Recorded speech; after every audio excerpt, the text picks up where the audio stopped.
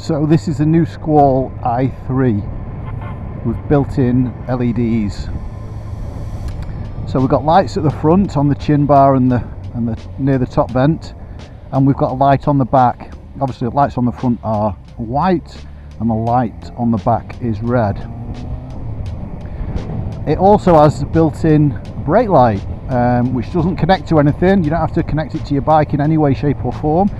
It just senses when you're braking and it flashes.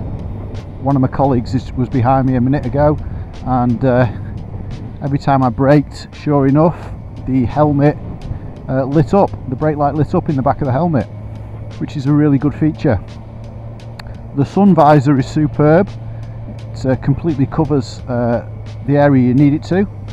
The main visor is nice and big, and the pin lock works really well as well. I know there's different qualities of pin lock, but this one is good. Obviously I'm breathing through my mouth at the moment while I'm talking and there's no fogging at all. So yeah, it definitely gets a thumbs up. The fit's really comfortable, nice and solid. Um, we've got a camera mounted to the side. We've got intercoms mounted.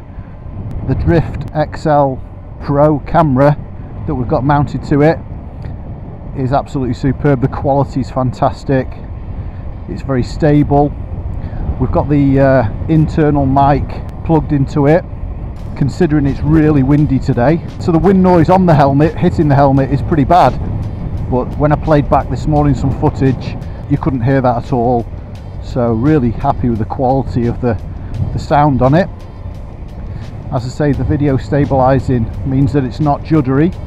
If you plug the internal mic in, you get rid of all the wind noise that the camera would pick up from the outside. So really happy with it. Both helmet and the camera are available in all the J&S stores so uh, you can purchase them from any of the stores and uh, yeah enjoy start making yourself some videos record your rides and uh, basically enjoy yourself so uh, that's me done I'm nearly home we're going to pass it on to a few other members of staff to try but I definitely give it a thumbs up yeah I couldn't be happier with it and the camera again we're going to give to some of the other members I'm not getting any buffeting off the bike. I'm currently on a, a 650 Bandit, 2010 650 Bandit with a little screen on the front and uh, I'm not getting any buffeting off the screen. The helmet's so stable, it's unbelievable. So yeah, really pleased.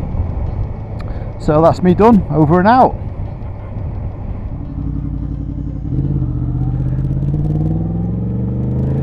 Alright, hi everyone, I'm Alan from J&S Motorcycles and today we're going to be reviewing Shark's new i3 helmet with an integrated brake light and the integrated LED lights as well for better visibility in the dark.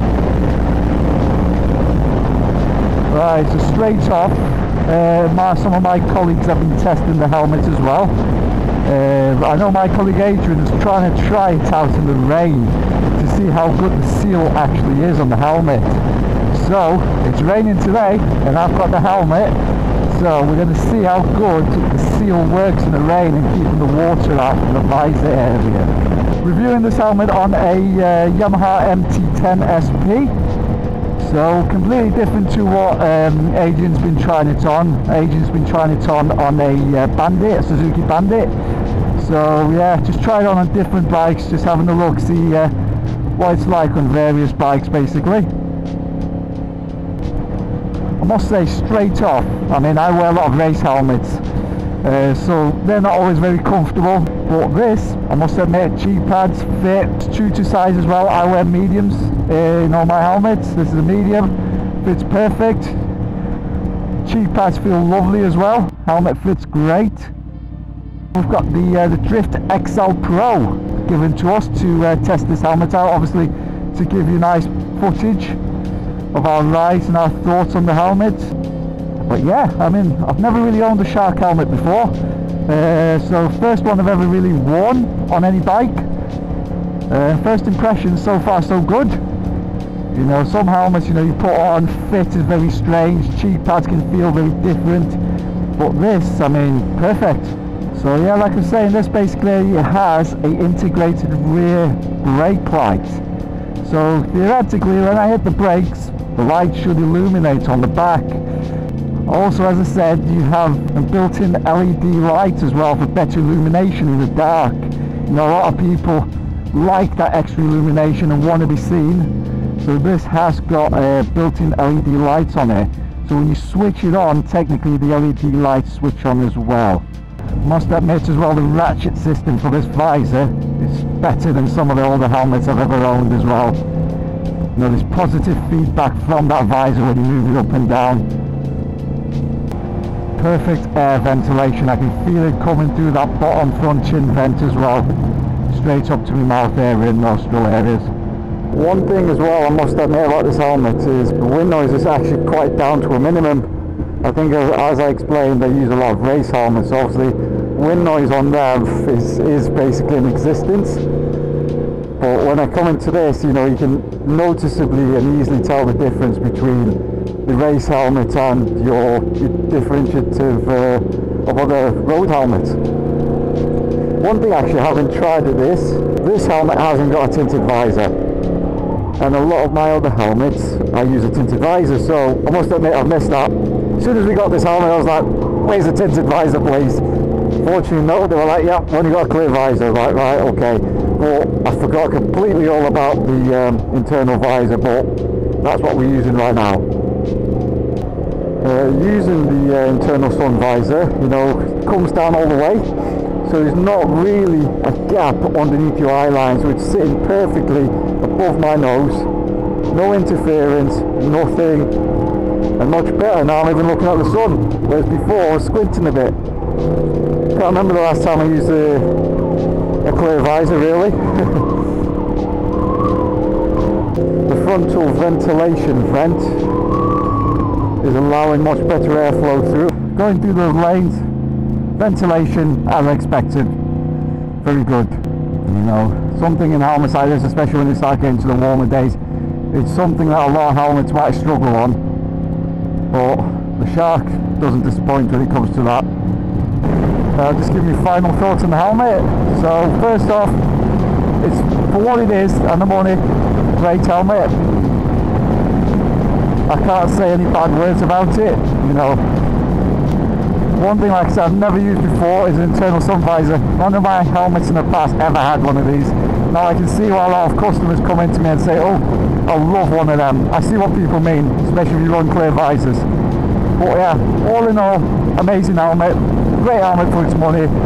If you're on a bit of a tight budget, looking for a great lid, this is one perfectly you should be looking for. Especially if you have to more visibility on your helmet, this is the one to get. Right, thank you very much. Bye bye. Right, so Jess is wearing the Shark Skwal 3. Just going to give it a little bit of a run. We've got the light flashing at the minute. Nifty little function with these, so because it's flashing now, Jess starts to brake, it flashes, so that it's like a, a third brake light, or, well, in case of bike, second brake lights. Really visible. It's getting a little bit dark, it's about 20 past 8 now. What do you feel like at the minute, Jeff? Yeah, it feels alright at the minute. Um, it's easy to get my glasses on, which is handy for me. Nice and lightweight, it's comfortable. All good up to now. So I can clearly Right. see that that is flashing away and it's flash mode. It's got uh, a few different modes. So it's got the flashing mode, uh, it's got the steady on mode, and it's just got the brake light mode. So which means that the, the lights will be off, but then when you start slowing down, the brake light will flash uh, when it detects that you're uh, losing speed or braking heavily. You brake heavily, it will uh, it'll flash a little bit faster, basically. I'm Uh, 50 at the minute, and I, I can hear everything clearly. Not no complaints with wind noise at the minute. The wind noise is fine. It's not bothering me at all. Whenever I'm turning my head, the water's easily just feeding away. Um, it's not affecting my visibility at all. It just seems like it's dispersing away, nice and easy. So we're up to a little bit, of, a little bit more speed, isn't it? What's the wind noise like now? And the stability of the helmet. Ability's fine. Um, there's a little bit of wind noise, but it's not to be expected when you're going about 70 mile an hour. I wouldn't say it's loud at all. It's nice and quiet for a helmet. So thumbs up at the minute then. Yeah. the brake light's flashing perfectly as it should do. It is great to look at. Uh, it's a nice coloured helmet. Same colour as your bike. You've got the MT07 in the cyan blue, um, so Yeah. it matches uh, quite well, doesn't it? Yeah. It's a nice colour. I like the colour. Yeah, it's quite similar to the Audi Nardo Grey things that they do in the cars, which is, seemed to be a quite a popular colour over the last couple of years. Um, you will be able to find different colours available uh, at J&S, but this certainly being a personal favourite of mine. Let's see if we can change the mode on it ever so slightly. So you've got your Dainese gloves on a minute, thick Gore-Tex gloves. Yep. Are you able to change the mode on it? Find that button. So there we go. So that's go. So there's the light on. So it's Yeah. constant steady mode, just giving you a lot more uh, visibility. That bit one was nice and easy to find as well. I have got my thick Gore-Tex gloves on, um, but um, easy to find. Thumbs up for functionality then. Yeah. Found that. Do you feel cold at all in the helmet? No, I have got one of the vents open at the minute, and it is quite cold outside, but my face isn't cold. Like you said before, I'm used to my pista, which my face is freezing when I'm in that. This, this is nice and warm. Face feels really warm compared to that, to be fair. So it's, it's, it's a nice change for once. Yeah, for once. How's the pin lock holding up as well? Um, Yeah. So there's a max, max vision pin lock in these, so it's embedded into the visor, so it gives you max field of vision. So what, what's it like? Did it, it look alright? Yeah, everything looks fine. It feels like I've got a bit like a wide field of vision with it. Good. That, that's another thing as well. What's your field of vision like? You can look over your shoulders quite easily. Yeah, as I said. I can see everything if I look over Right. my shoulder. I So can I'm- I'm- clearly see. I'm at the Yeah. right hand lane at the minute. You can see me quite easily. I can see you there. There we have it.